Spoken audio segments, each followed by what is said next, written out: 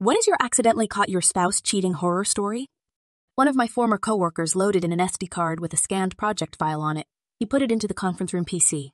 We were treated to explicit pictures of his wife doing it with another guy. We were just stunned. This was in a senior budgetary meeting with the outside accountants and auditors, and he was sitting right there and we were looking at his wife and another guy going at it. I reached over and shut the projector off. Nobody said anything. He got up and walked out and drove off in his car, left his phone and laptop sitting on the table. He wound up driving to his parents' house three states away. He was gone for a week,